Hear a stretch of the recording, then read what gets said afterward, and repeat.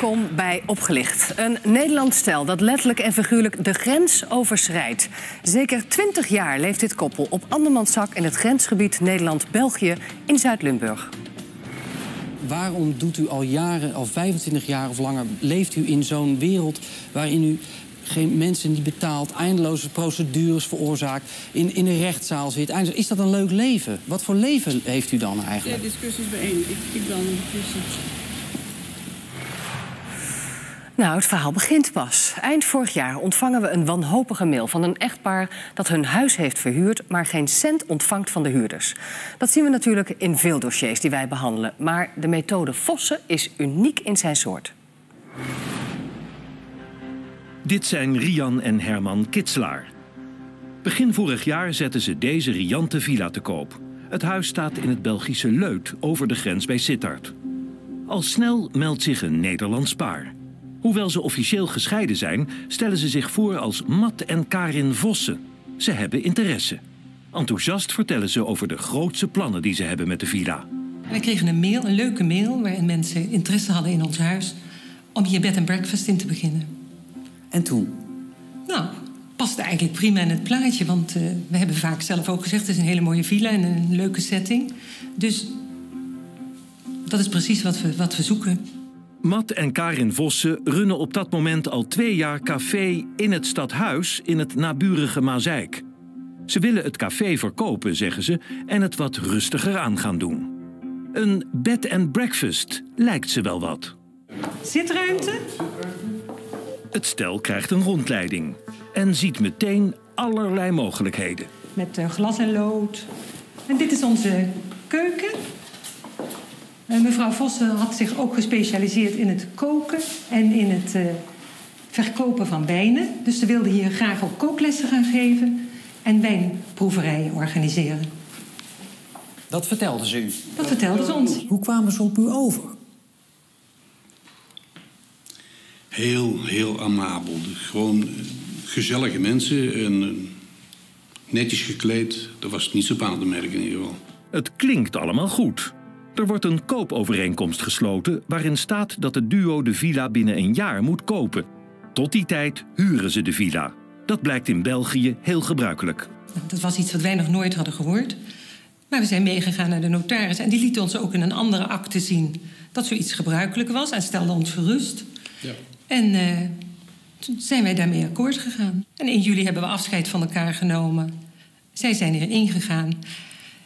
En wij zijn vertrokken. Ja, Zover, zo goed. ja. Wat Herman en Rian Kitslaar dan niet weten, is dat het koppel er ondertussen in het Mazeikse café al heel lang een financiële puinhoop van maakt. Dirk Daniels maakt het allemaal van dichtbij mee.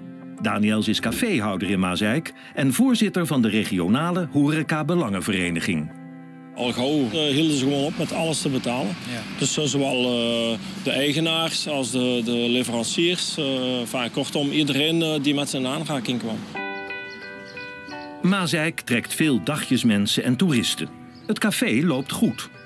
Toch ontvangt de brouwerij die het pand verhuurt aan het paar al maanden geen huur. De Belastingdienst, het personeel en leveranciers, niemand wordt betaald. We spreken een ex-werkneemster. Ze doet een boekje open over die tijd, maar wil anoniem blijven. Ik heb wel alle deurwaarders van Mazeik gezien op die korte periode, denk ik. Want hoe ging dat dan?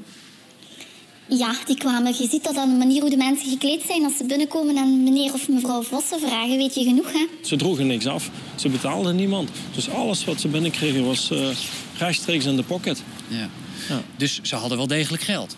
Ja, ze heel zeker hadden ze geld. Ze hadden wel degelijk ook iedereen kunnen betalen. Goh, ja, netjes. Ze hadden iedereen netjes kunnen betalen. Rian en Herman Kitslaar weten hier allemaal niets van. Ze denken met eerlijke mensen in zee te zijn gegaan. Hun vertrouwen lijkt terecht, want er wordt aanvankelijk ook keurig huur over gemaakt. Maar dan gebeurt er iets vreemds. Begin september, de eerste problemen. Want? Want ze betaalden niet alles. Een gedeelte. Toen dacht u? Dat hebben we niet afgesproken, dus we zijn in de pen getrokken en eh, gezegd van wij willen het betaald hebben, compleet. Dus we hebben met wat, eh, eerst met wat telefoontjes Hè, 40 keer gebeld, 50 keer gebeld, werd nooit opgenomen. Niet opgenomen. Dus dan gingen we mailen en ze hebben Nummer, gezegd... nummerherkenning, hè? En dan... eh, Ja, wat is er aan de hand? We begrepen er niets van, want ja, ze gingen ons huis kopen... en eh, ze waren hier bezig met het bedrijf op te zetten. Ten einde raad rijden Rian en Herman Kitslaar naar het café in Maasijk om daar om opheldering te vragen. Je hebt geen idee wat er aan de hand is. Totdat wij dachten, nou weet je wat, we rijden eens even naar Maasijk. We gaan bij hun in het restaurant, we gaan eens even kijken wat er precies speelt. En toen wij daar aankwamen, tot onze schrik, grote schrik, was dat dicht. Daar hing een groot bord op te huur. En toen wij in de buurt gingen informeren, toen werd ons gezegd... kennen jullie die mensen niet? Dat zijn enorme oplichters. Die hebben al iedereen eronder getrokken. Die mensen zaten in uw huis. Die zaten in ons huis, in ons eh, fantastische bezit. De grond in Maasijk is het duo kennelijk te heet onder de voeten geworden. Ze hebben zich totaal van de buitenwereld afgeschermd. Rian en Herman Kitslaar hebben kennis gemaakt met de methode Vossen. Ze stappen naar een advocaat om de overeenkomst te laten ontbinden. De wanbetalers worden uit de villa gezet. Al met al wel een zaak die toch wel eh, zo'n nou, 24.000 euro gekost heeft. Ja, hier aanwezig Herman en Rian Kitslaar, welkom. Rian, die 24.000 euro was niet alles, want ze zijn ook nog tegen u in hoger beroep gegaan. Hè? Inderdaad, ja. Dus weer opnieuw een advocaat in de arm nemen, weer kosten maken... en dan maar weer afwachten hoe het afloopt. Ja. Dat is eigenlijk wat ze ook steeds doen. Ze blijven maar in beroep gaan en in beroep gaan. Maar Want je u bent, u bent onderzoek gaan doen, hè? U bent dus gaan speuren in het verleden van deze mensen. Ja. Waar kwam u achter? Nou, ik was gewoon perplex. Het was ongelooflijk wat ik allemaal tegenkwam. Ik ben eerst begonnen bij de eerste, eh het eerste huurhuis waar ze voor ons in gezeten hadden. En van daaruit maar langzaam teruggeploegd. En zo kwam ik tot eh, 1987. Goeiedag. Er kwam een hoop narigheid naar boven. Laten we eens even kijken. Dit zijn gewoon veel plegers. Als ik van hun gehoord had, had ik ze nooit, nooit, nooit in het huis gelaten. Dat moeten een soort gangsters zijn. Ze gaan elke keer maar weer door. Rian en Herman Kitslaar verdiepen zich een maand lang intensief in de werkwijze van Matt en Karin Vossen. Het onderzoek levert een ontluisterend beeld op. Ik heb alle mensen benaderd. Ik ben alle mensen gaan benaderen waar zij ooit gewoond hebben. Of waar ze zaken mee gedaan hebben. Of de BV's die ze opgericht hebben. De notarissen. De hypotheekverschaffers. En De- wat ontdekte u? Wat kwam daar voor beeld uit? Een soortgelijk beeld als wat wij hier meegemaakt hebben. Is Namelijk? één, twee maanden betalen. Dan een excuus zoeken om niet meer te betalen. Dan gaan traceren, traceren, traceren. Dan weer voor de rechter. Je goede wil tonen. Weer een maand betalen. En dan weer niet. En dat gaat zo oeverloos door. Maria Prikke en haar zoon Erik Leenders kunnen erover meepraten. Ze hebben een elektronica-winkel in Maasijk. In 1999 verhuren ze dit vrijstaande pand aan het koppel Vossen. In het begin gaat alles heel gemoedelijk en vriendelijk. In het begin betaalde die heel gemakkelijk de huur. Tot dat bleek, tot een goede half jaar zaten ze erin en toen begon de miserie. En wanneer stopten ze met het betalen van de huur? Dat is, in feite is dat zo'n beetje gebeurd. Dan stopten ze weer. Aangetekend schrijven, advocaat en dan betaalden ze weer. En dan, maar telkens moesten wij naar een advocaat gaan of aangetekend schrijven.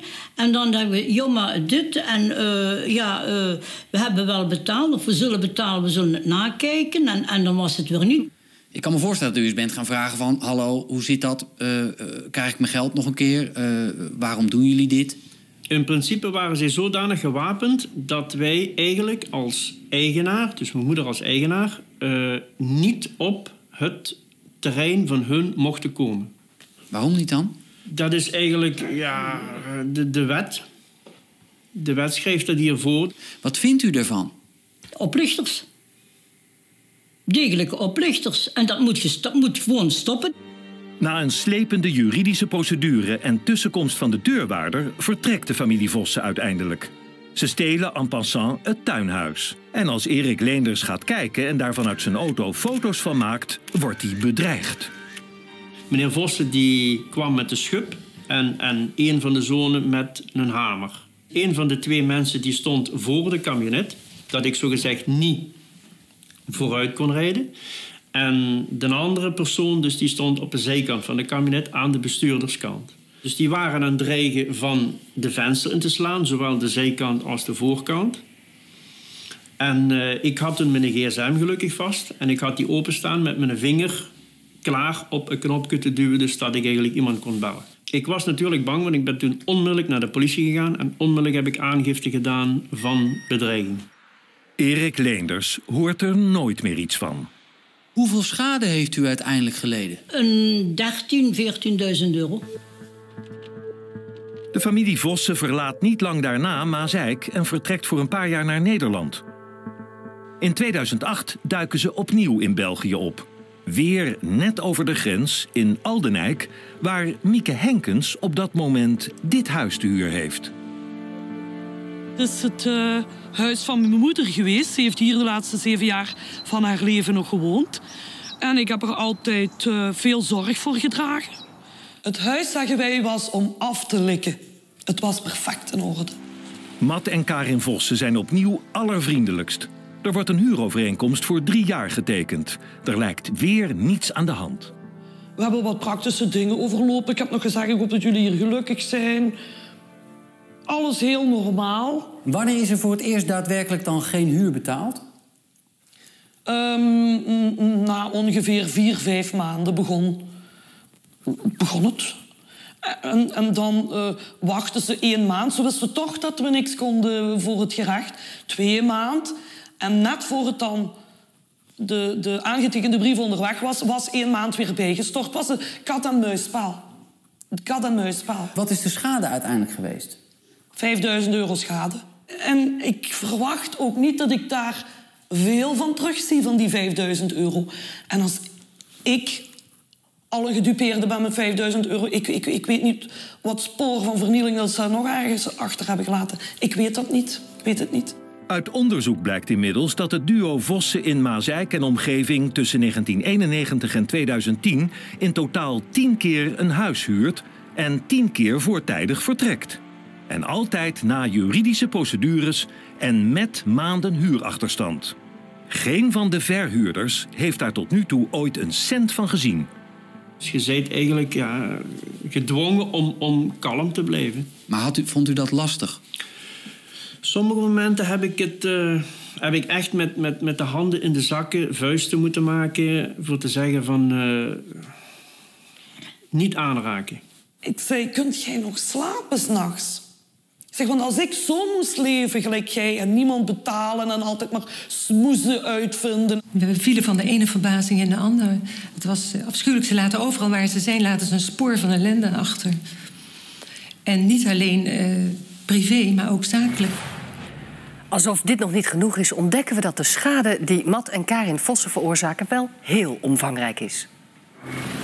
Ze verdienen altijd geld door een ander niet te betalen. Dat is een overzicht, uh, een, denk een vijftiental facturen. 1300, 400, uh, 357, 250. Ik heb in ieder geval factuur liggen van bijna 800 euro die niet betaald is.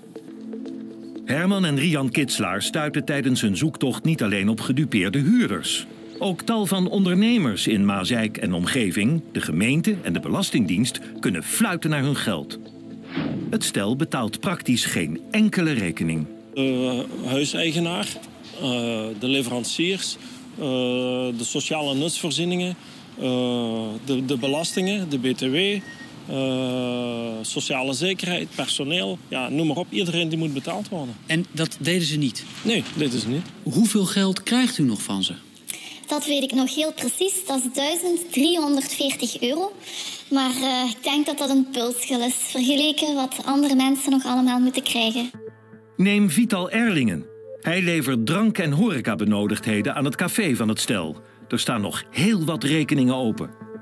Hoeveel krijgt u nou nog uiteindelijk? Ja, een 36, kleine 3600, ziet u. Gaat u er ooit wat van terugzien? Ja, ik hoop het, maar ik ben er bang voor. Ja. Zonde. Ja, ik weet het. Is het veel geld voor u? Tuurlijk, het is voor iedereen veel geld. Hè. Uitzonderlijk, uh, om, omdat ze iedereen bedriegen. Het is niet alleen... Het is de bedoeling, die mensen leven zo. Dus dat is een, een levenswijze van die mensen. Die, die, die willen gewoon zoveel mogelijk mensen bedriegen. Dus ook Tom van der Laan. Hij maakt een website voor bed and breakfast Hof van Leut... dat het duo in de villa van Herman en Rian Kitslaar begint. De werkstudent stuurt een factuur van 800 euro, maar ziet nooit een cent. Ik kreeg ze niet te pakken en bellen en bellen. En dan werd er gezegd van... eh, ja, kom dan en dan maar langs. En, En toen ging u langs? Ja, dan wordt hij niet opengemaakt. Ik ben ook zo eens een keer langs gegaan. En eh, ja, dan waren ze gewoon thuis, want ze maken gewoon niet voor je open, klaar. Wist u dat ze thuis waren? Ja, ja oud stond. Ik heb ze gezien, het licht brandde er. Maar hij werd gewoon niet voor je opengemaakt. Uit het onderzoek blijkt dat er nog veel meer zakelijke gedupeerden zijn. Brouwerij Haagt, die het pand verhuurt, gaat ook het schip in... en zit naar eigen zeggen met een schadepost van minstens 30.000 euro. Je kan wel zeggen, kijk, eh, zeker in het, in het eh, hoofdseizoen... dat eh, alle zaken die hier goed hun best doen, dat die wel een kost kunnen verdienen.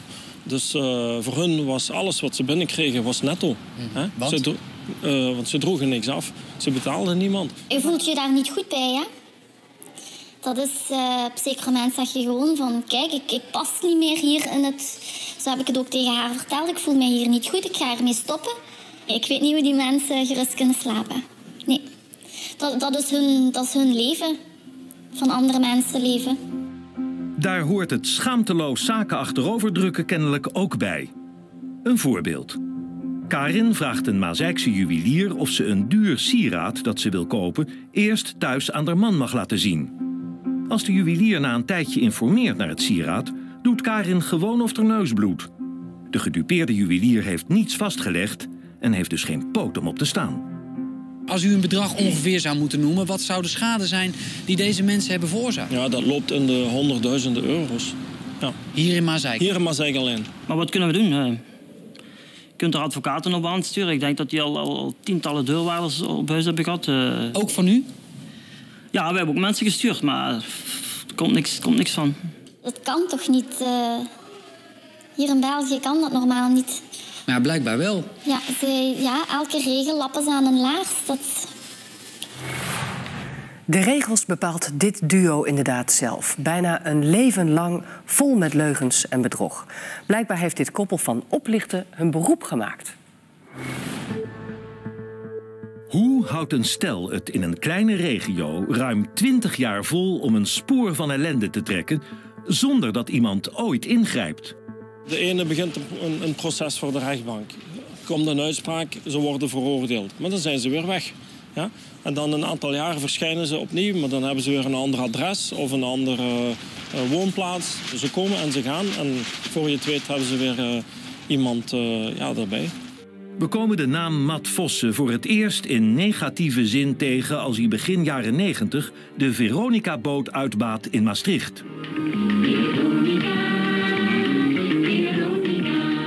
Het oude zendschip van Radio Veronica is omgebouwd tot disco.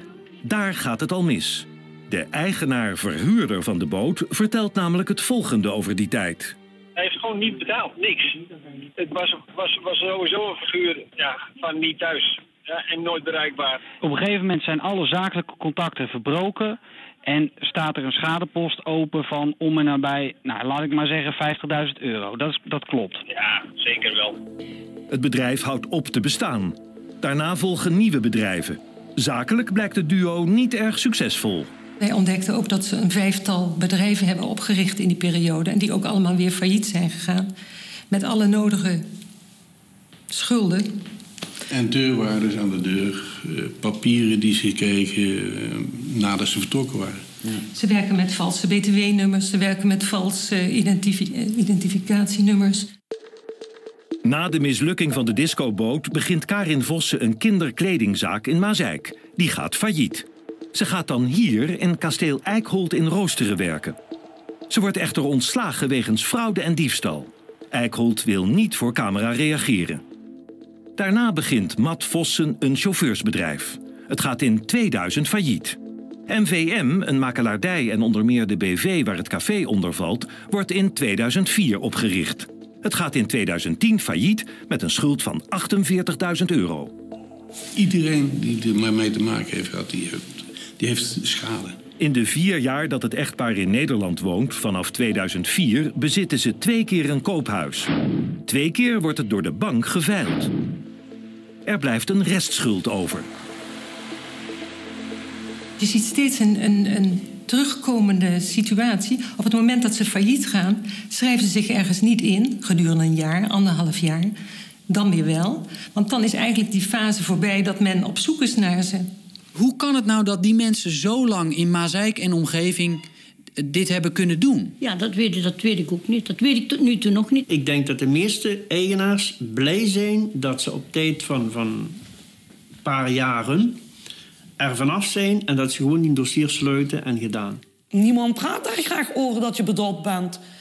En die mensen willen, de meeste mensen willen het zo snel mogelijk vergeten. Wij zijn zowel bij de politie in België geweest om aangifte te doen als bij de politie in Nederland. Maar je, kan, je hebt geen poot om op te staan. Wat werd u dan verteld? In Nederland.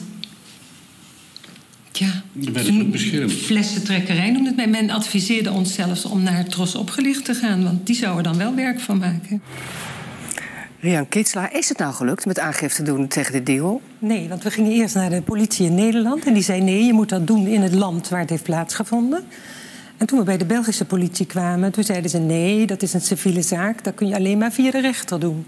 Maar u had inmiddels zo'n groot dossier, dat kon u zo overhandigen aan de Belgische politie. Ja, nee, ze adviseerden ons eigenlijk, ja, ga maar naar Tros opgelicht, want die kunnen er wel werk van maken. Ja, dus dan zouden al die mensen maar zelf naar de rechter moeten stappen en allemaal individueel een rechtszaak tegen dit paar aan moeten spannen.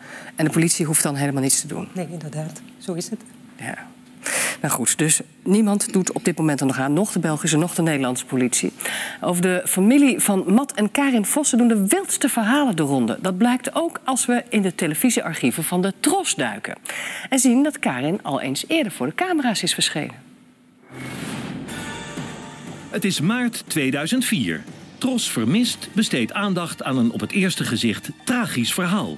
Het gaat over ene John Vossen. Op 21 oktober vorig jaar stapt de 46-jarige John Vossen uit het Limburgse Echt rond 5 uur ochtends overspannen in zijn busje. Diezelfde middag wordt de bus leeg aangetroffen in Maastricht onder de Noorderbrug. John laat naast een grote schuld ook een afscheidsbrief aan zijn vrouw Annie achter. Het blijkt hier om de broer van Matt Vossen te gaan. Let wel, het is allemaal een klein jaar na de hele affaire met Maria Prikken en Erik Leenders. Oplichters. Degelijke oplichters. En dat moet, gesta- moet gewoon stoppen. In de studio, alsof er nooit iets gebeurd is, zit doodleuk Karin Vossen. Wat denken jullie dat er is gebeurd? En nou, wij vinden het vreemd dat John in al die maanden van zijn verdwijning geen contact heeft opgenomen met zijn moeder. Gisteren bijvoorbeeld was ze jarig en hadden we echt gedacht, nou vandaag meldt hij zich. Maar helaas. Kort daarna komt de waarheid pijnlijk aan het licht als John contact heeft gezocht met Karin Vossen. Want het gesprek was heel kort. We weten alleen dat hij ergens in het buitenland zit. Maar ja, waar? eh buitenland is groot, hè? Liegen komt dus blijkbaar vaker voor bij de familie Vossen. Mats broer John heeft het verhaal namelijk compleet uit zijn duim gezogen. Hij wil gewoon scheiden. Ja, bizar natuurlijk dat iemand vermist is, gemist wordt... maar dat er bij terechtmelding niemand nou echt blij is. In ieder geval wensen wij alle partijen heel veel wijsheid toe. Mevrouw Prikken, heeft u destijds die uitzending gezien van Nee, die sessie heb ik helemaal niet gezien. Nee, dat was heel kort nadat u uw ervaringen met deze mevrouw eh, opgedaan had. Wat vindt u ervan dat zij zo kort daarna zo openlijk op de televisie verschijnt? Ja, in 2004 woonde ze niet meer bij ons. En dan vind ik het schandalig dat zij in die periode nog voor de camera durven te verschijnen... in hetgeen wat dat ze ons allemaal hebben aangedaan. Ja. Was ze dan toch gek op de aandacht of zo, dat ze dat deed? Ik, dat, dat zou goed kunnen dat ze, dat ze nog aandacht wilt... en dat ze nog echt in publiek wilt voorkomen. Ja. Ja, als we de beelden van eh, Vermist zien... dan kun je in ieder geval concluderen dat Karin geen cameravrees heeft. We zijn benieuwd hoe zij en Matt op die van ons reageren. We treffen Matt Vossen, die nogal blijkt te zijn afgevallen... en Karin uiteindelijk bij een autobedrijf ergens in Limburg. Niets vermoedend zoeken ze een nieuwe auto uit. Goedemiddag. Bent u mevrouw Vossen? Hallo, Erik Mostert van Tros Televisie. Goeiedag. Ik ben eh, van het eh, televisieprogramma Opgelicht. En ehm, ik wilde een aantal vragen aan u stellen. Ik heb een hele serie klachten over u gehad en eh, over uw man. Over de werkwijze die u heeft nou in Mazeik. U heeft allemaal... Dan word je gefilmd. hè? Ja, wij maken een televi- televisieprogramma over u. Even terug. De dag begint hier in het Belgische Lanaken, net over de grens bij Maastricht. Dit is het nieuwste optrekje van het stel. Ook dit huis blijkt gehuurd. Er staat een busje voor de deur. Een man is op zoek naar de bewoners. En ja hoor, het blijkt een gordijnleverancier. En ja hoor, ook hij krijgt nog geld. Komt u voor eh, de familie Vossen? Ja. Ah, oké. Nou, want wij zijn van Tros opgelicht. En eh, wij hebben... Och, dat meen je niet. Ja, dat meen ik wel. Heb je geleverd? Echt waar? Geen centen gehad? Nog geen centen gehad? Nee. En nu? Ja, weet ik niet. Karin en Matt Vossen blijken hun financiële wangedrag ook hier weer in de praktijk te brengen. Hoe lang staat de rekening al open? Een maand. Een maand. En ze hadden al moeten betalen. Ja. Hoe, weet u ongeveer om hoeveel geld het gaat? Nee, dat Een is... paar duizend euro? Een paar honderd nee, nee, euro? een paar honderd euro. Een paar honderd euro. Ja, ja. En ik ga het toch proberen te pak te krijgen. Ja. U heeft allemaal mensen gedupeerd. Wat, wat kunt u daarop zeggen? Wat ik daarop kan zeggen, nou ja, ik, ik wil wel eens weten hoe voor gesteld trouwens. Ik ga hier nou even niet... eh, Nou, ik loop anders een stukje met u mee, dat is niet erg. Ik wil zo graag weten waarom u dat doet. Waarom u al jarenlang zo bezig bent. Nou, In Maasijk en omgeving. Ik wil praten met u in de zonnekamer. Ja, maar als ik dan afspraak met u maak, dan komt u waarschijnlijk niet opdagen. Want u komt de meeste afspraken niet na, mevrouw. Ja, u heeft dat van andere mensen. Ja, maar ik heb er wel heel veel gesproken, hè. Ja, goed. Die een serie klachten over heeft. En dat u moedwillig ja, hen gewoon niet betaalt. Zal ik wat noemen? De brouwerij Haag zit nog met 30.000 euro die ze nog van u krijgen. Vital Erlingen, 3600 euro. Eh, het personeel wat u niet betaald heeft. De gemeentebelastingen, terrasvergunning niet betaald. Oh, dat is ook niet waar. Eh, me- mevrouw Hè? Drankhandel, 800 eh, euro. Dat zijn al een paar bedragen. Dus dan kan ik ook nog de verhuur. Dus met door de familie Kitselaar. U heeft in Leut een villa van hen gehuurd, klopt toch? Ook niet, niet gehuurd. Nou, u heeft wilde hem kopen, maar u heeft daar ook niet... eh, u heeft hen opgezaald met een bedrag van 25.000 euro schade. Mevrouw Vossen. Ik heb hier een contract van kom. Nou, laat mij dat contract dan maar zien. Ja. Want zij hebben een contract met u dat u niet wil nakomen... en dat u gewoon 25.000 euro open heeft staan. En hoe zit het dan met mevrouw eh, Henkens in Aldeijk? Die krijgt nog 5.000 euro van u. Ja, dat zegt zij. Nou, dat heb ik gezien, zwart op wit. Dat is een vonnis van de rechtbank hier, mevrouw Vossen. Maar luister, eh, Nee, maar even, me- mevrouw Prikken, 13.000, 14.000 euro schade. Huur niet betaald, tuinhuisje meegenomen daar. Hoeveel zat dat? zelfs als mijn eigen tuin is op. Ach, dat is het tuinhuis was van die mensen. Dat is ook vast komen te staan bij de rechter dat dat van hun was. Nee, dus niet. Ja, absoluut niet. Maar goed, jullie, jullie, jullie noteren maar wat, jullie weten de helft, jullie, jullie doen maar wat. Ik ben nu uitgepraat. Ja, maar wat, wat is uw verhaal? Daar wil ik zo graag weten. Want Ja, uw advocaat... Mijn verhaal is blijkbaar niet belangrijk. Jawel, ik leg- Jullie hebben jullie mening al helemaal... eh, Vertelt u het maar, wat, is er dan niet, wat klopt er niet aan het verhaal van mevrouw Kitselaar? eh, van, het hele verhaal klopt niet. Want dat huis, de eerste week dat we er woonden, kwam het water van zes kanten zo naar binnen. Ach, mevrouw. Ja, kijk, u gelooft mij niet. Nee, ik geloof u niet. Want Ja, goed, ik- dus dan zijn we uitgepraat. waarom bent u toen gestopt met het betalen van de huur bij mevrouw Kitselaar? Na een aantal maanden. Omdat het pand zo lekker was als een mandje. Ik heb gewoon opgezegd zoals het hoort. En nogmaals... U heeft niet opgezegd zoals het hoort. Wat weet u daar nou van? Ik heb het hele verhaal van haar zwart op wit. en uiteindelijk een vonnis. En eindelijk een vonnis van de rechtbank. hè? Ik loop nog. Maar ik neem daar maar contact mee op. We zijn uitgesproken. Waarom doet u al jaren, al 25 jaar of langer, leeft u in zo'n wereld waarin u geen mensen niet betaalt, eindeloze procedures veroorzaakt, in, in een rechtszaal zit? Eindeloos- Is dat een leuk leven? Wat voor leven heeft u dan eigenlijk? De discussie is beëindigd. Ik, ik bel een discussie. De politie komt niet. Karin moet het alleen doen. Matt Vossen ziet op dat moment zijn kans schoon en knijpt er tussenuit.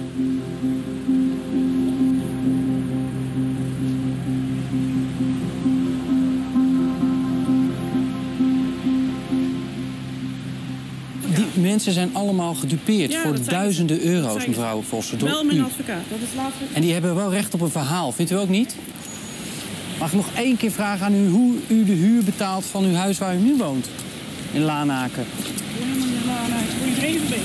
Ja, ik heb u vanmorgen uit een huis uit Laanaken zien komen. Hoe betaalt u daar de huur van? Hoe betaalt u daar de huur van dan? Die geven bericht? Toch jammer hè, dat u niet op de vraag in wil gaan hè? Heel jammer.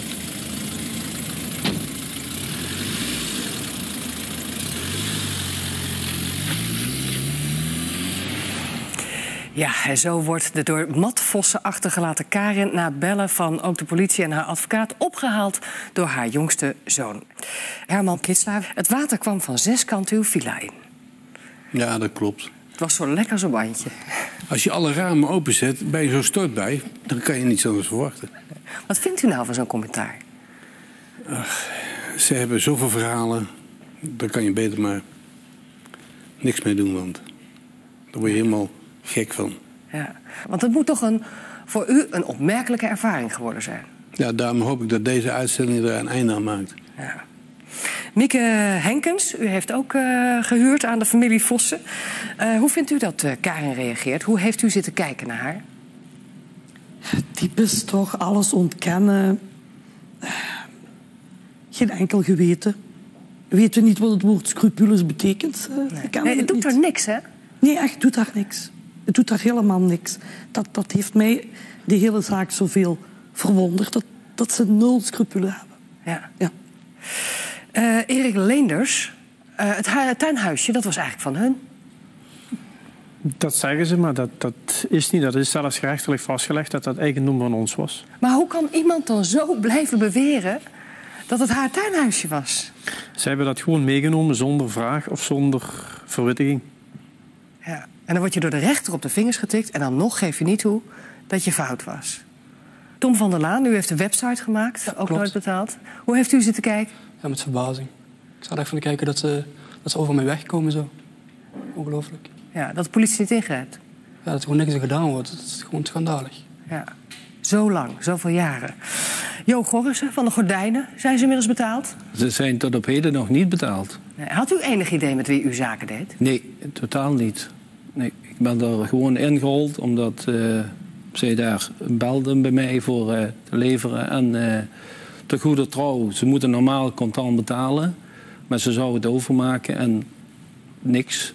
Vanaf 27 december tot nu toe nog totaal geen ene cent betaald. Dat blijft toch ook wel de vraag hoeveel ondernemers zoals u wij nog niet in het lijstje hebben staan? Hè? Uh, dat, uh, ik, de vraag is uh, hoe kun je het kenbaar maken dat niemand daar meer intrapt. Dat die mensen gestopt worden. Want ze, ze fantaseert ieder ene leugen naar de ander. Ja.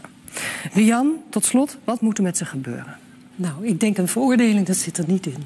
Dat lukt vast niet. Na zoveel jaren maar misschien een, een schandpaal op de markt in Maaseik? Nee. En ze daar dan te kijken zetten? Dat is wel een tamelijk middeleeuwse oplossing, moet ik zeggen. Misschien dat deze uitzending toch uh, de politie ertoe aanspoort... om wel een dossier een keer te maken van dit soort mensen, dat er wat gebeurt. Het zal voor u ook niet makkelijk geweest zijn om dit allemaal voor camera te vertellen. Waarom heeft u dat toch gedaan? Het moest gewoon gestopt worden. Dat was, uh, je, je bent zo vol verbazing als je teruggaat in dit hele dossier... dat je zegt, nou, de enige manier om dit te stoppen is het gewoon aan de kaak te stellen. Aan de kaak te stellen. Ja. Schijnwerpers erop. Absoluut. Goed, nou, goede reclame is het niet. Maar ook voor Belgische kijkers, u bent gewaarschuwd voor dit Nederlandse paar. Iedereen hier in de studio, hartelijk dank. Meld u ook aan voor de opgelicht nieuwsbrief en blijf op de hoogte van het laatste nieuws uit de wereld van oplichting, fraude en bedrog. En dit was opgelicht voor vanavond. Bel 0900 112 1121 als u informatie heeft of tips kwijt wilt.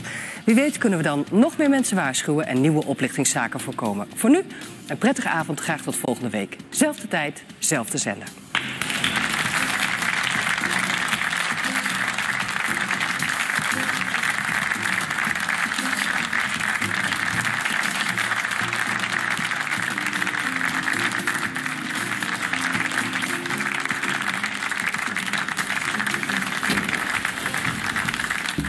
...24 uur per dag het leukste en beste op tros.nl.